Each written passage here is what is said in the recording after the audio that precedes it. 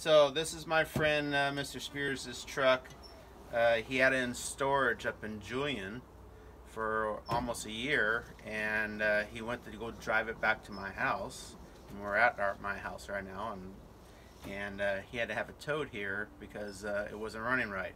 His complaint is that it had no power and it was hesitating, bucking, pinging, making all kinds of noise and just had no power. So we're going to make a very short video of a complaint and then we're going to find out the cause and then we're going to tell what tell you what the correction is. It's real simple, but basically we didn't know what the problem was going to be. It was it, he towed it here.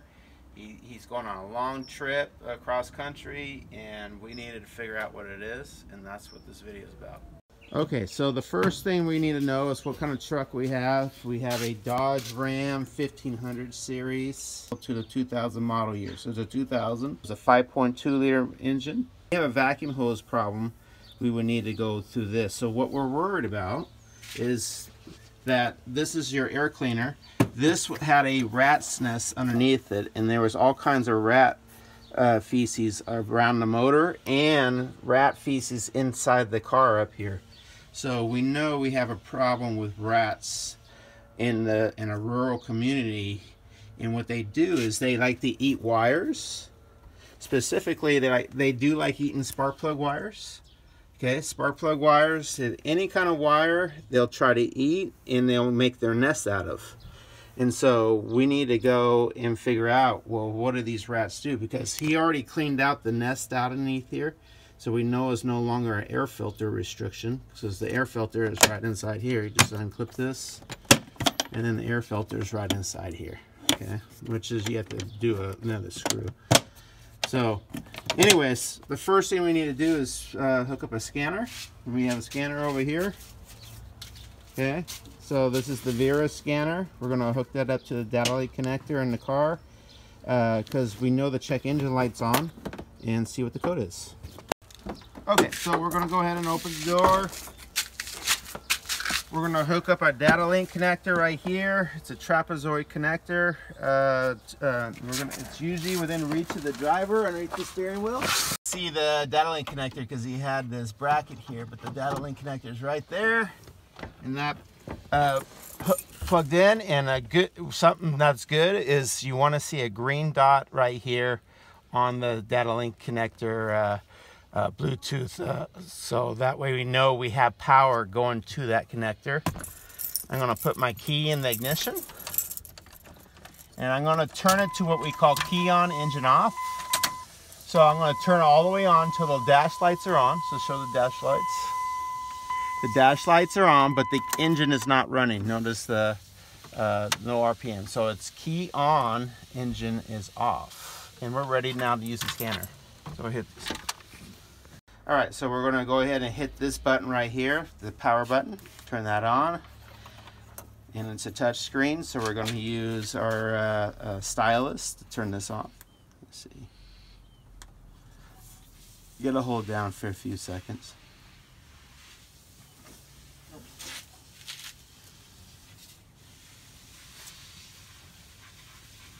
So it has to load up Windows. Just let it run. You don't have to touch anything on the screen. A lot of times it will ask you questions, just ignore it. Okay, so here's the windows. When you shut this down, never shut it off here, shut it off at Windows right here. So this is how you turn the machine off. You never turn it off with this button. So you would hit this button right here and then you hit shut down when you turn this machine off. Okay. Okay, so here's the main menu. We want to go to scanner. And what we're trying to do is is pull the, the diagnostic codes, the DTCs, and see what a problem is. We know we're a Dodge. We know that we are a 2000, but we could do it through the VIN number if we want. So the 10th digit of the VIN would tell us that it was a, a 2000, and 10th digit would be a Y. Okay, we do not want to do automatic ID because uh, you have to be like 2006 and newer to use that. So it's a manual ID. And then um, this is asking what kind of vehicle. It's a Ram truck but you could identify it with the VIN number, the fifth digit here. And then we know that it's a 5.2 liter. So we're going to go ahead and do that and hit OK. And then we're going to hit engine. Okay. And then hit all others. We, it's not a California car, it's a federal car. And then automatic uh, transmission with air conditioning is what we have. Okay, so here's our codes. And we're going to do codes only. And here's our codes right here. Here's all the codes we have. So we have a multiple misfires, a cylinder number 4 misfire, cylinder number 6, cylinder number 8, and we have a TP sensor uh, uh, code. So let's go ahead and diagnose this TP uh, sensor first. So I'm going to hit back. And I'm to hit back. And I want to go to live data display.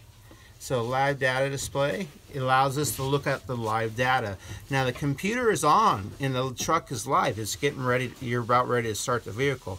So all we're focusing on is TP sensor. So I'm going to go ahead and pull, here's throttle position sensor opening. I'm to open that and then I go to TPS voltage. This is the most important one.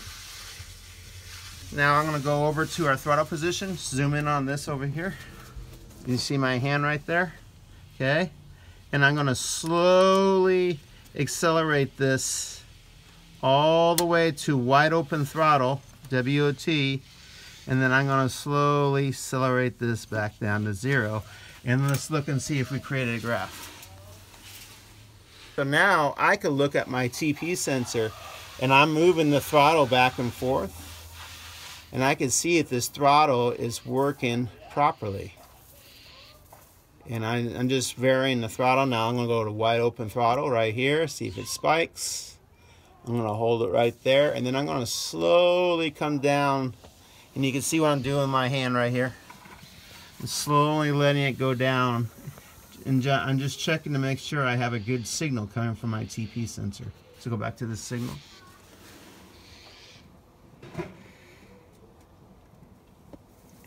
And I'm to go all the way back down to closed throttle.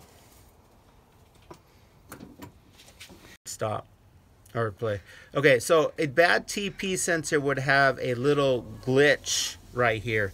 Uh, kind of similar to what I have here. It would drop off on a signal, but instead when I came down, it's smooth. The only thing I don't like is the most we have is 3.67 volts.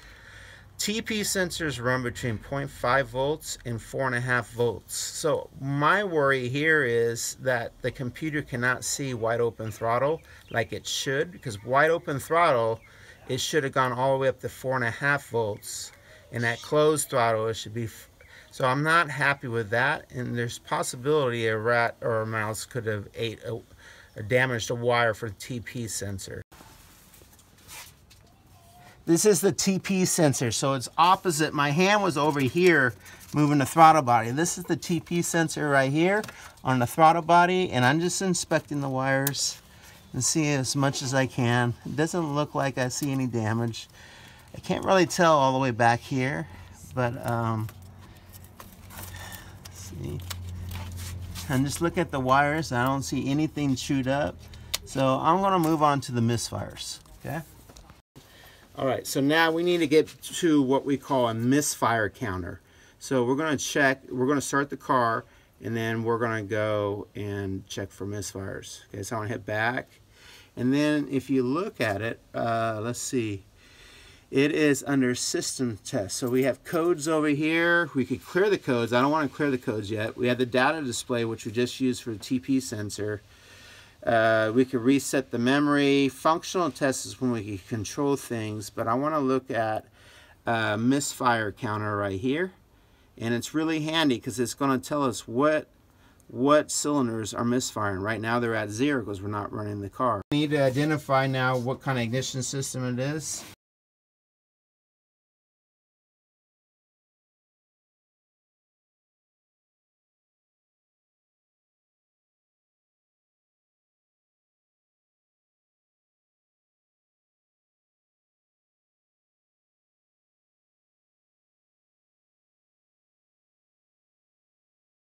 We have spark plug wires right here. Spark plug wires tell us that it's a DIS system or distributor system. It is not a coil on plug system. And if I find the coil, and the coil is right here, I have a single coil. So that single wire off of this coil has to go to a distributor. And if we follow that wire all the way back, it goes all the way back to a distributor. And you look at it, this is the distributor and all the spark plug wires attach to that distributor. Let me see if we can move it out of the way. There we go. See how the spark plug wires attached to it? Okay, so we know it's a distributor ignition system. Okay, so we're gonna start the car. And notice the check engine light's on. That's the orange light. You can hear the misfire, okay? You hear a thump, thump, thump, thump, thump, thump, thump, thump. That's a misfire. It's a dead miss right now at idle. I want to give it a little bit of gas so we can hear it. You, you see this shaking. The whole car is just shaking. You can feel it in your body. You can feel it in the in the whole the whole body of the car. It's shaking. It's not happy. Okay, it's like a heartbeat.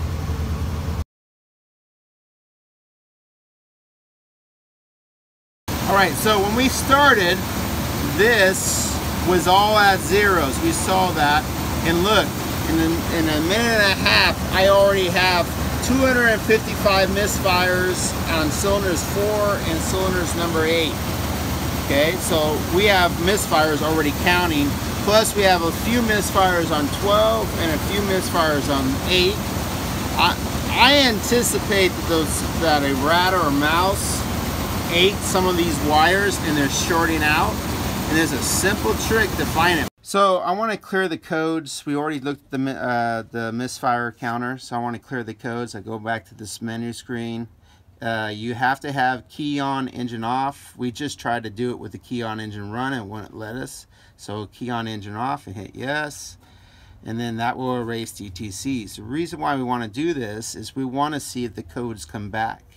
Okay, so I'm first off, I'm to go over to uh, system tests. I'm to bring up the misfire counter again. They're all at zero. So you stay here. Okay. And I'm to go and start it. And we're to see how fast those come back.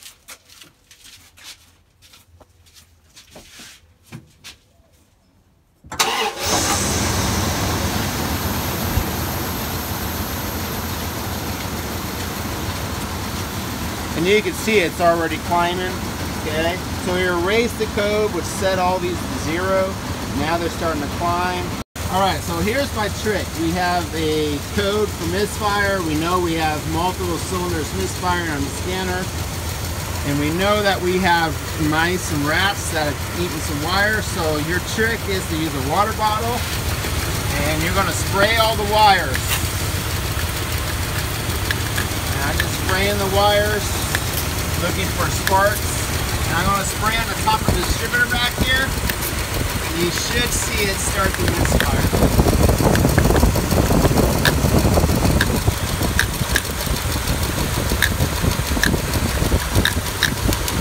There we go. You hear the sound?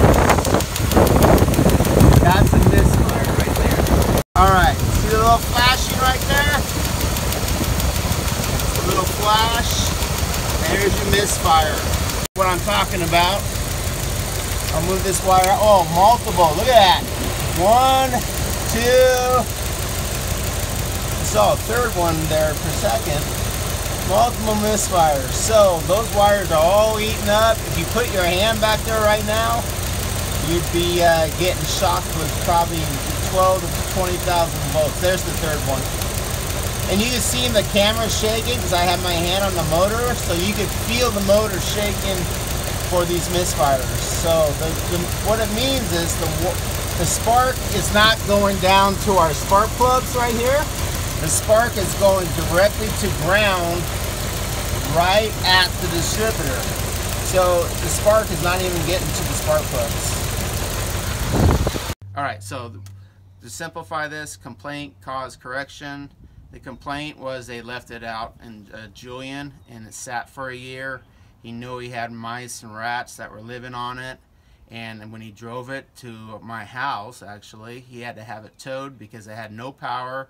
It was bucking and surging, and he, he didn't know it was a misfire, uh, but it was obviously a misfire, and all my students should know what a misfire is. So bucking, surging, no power, misfiring, check engine light on, that's the complaint. Okay. What's the uh, what was the cause? The cause was he had a code for a TP sensor and multiple misfires. We identified the misfires as the spark plug wires. We still don't know about the TP sensor yet, but we're going to fix what we do know is wrong, which is the misfires with the spark plug wires. So the cause is the spark plug wires were eaten by the mouse or the rat and cause that causes the misfires. The correction is going to be to replace the spark plugs and the wires because he doesn't know when he changed his last time he changed the spark plugs. He's driving across country, so let's just change all the wires, let's change all the spark plugs, and then we'll drive it, and then we'll, we'll focus on the TP sensor if that is a problem.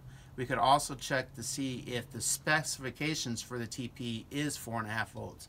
For this vehicle, maybe it is 3.5 most TP sensors, it should be up to four and a half, but we will do that after we fix what we know is already wrong.